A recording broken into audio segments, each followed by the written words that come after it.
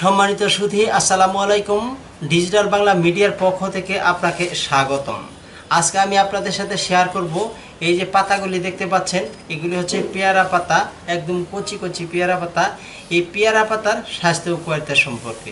তবে মূল ভিডিও শুরু করার পূর্বে আপনাকে ছোট্ট একটি রিকোয়েস্ট যারা এখন পর্যন্ত আমার এই চ্যানেলটি সাবস্ক্রাইব করেননি, দয়া করে চ্যানেলটি সাবস্ক্রাইব করে নিন।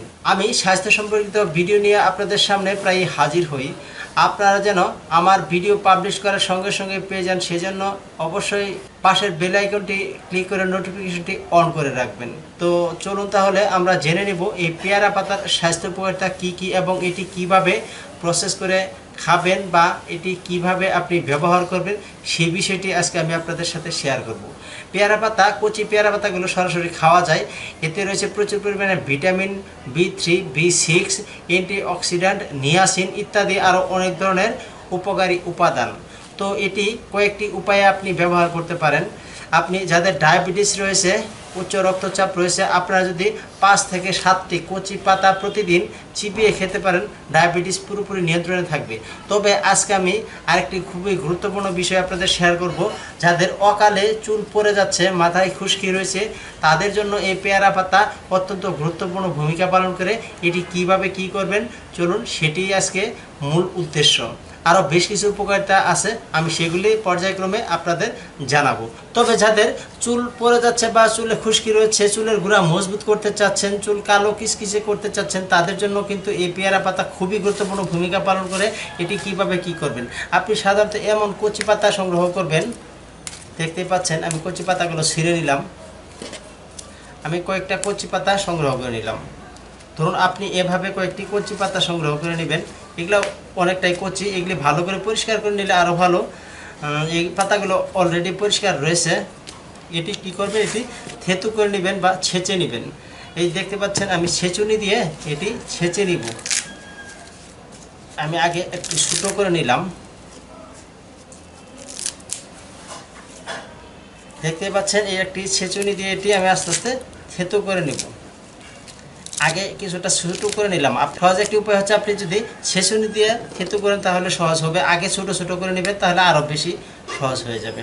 তো এটি আস্তে আস্তে এখন এটি থেতু করব।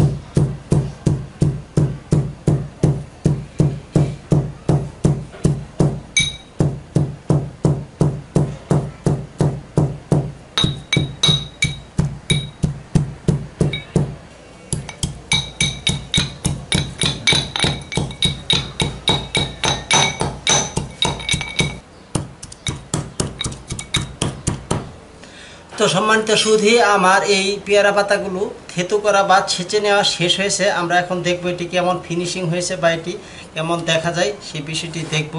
একটা বাটি নিব। বাটিতে আমরা কি করব? এটি দেখব।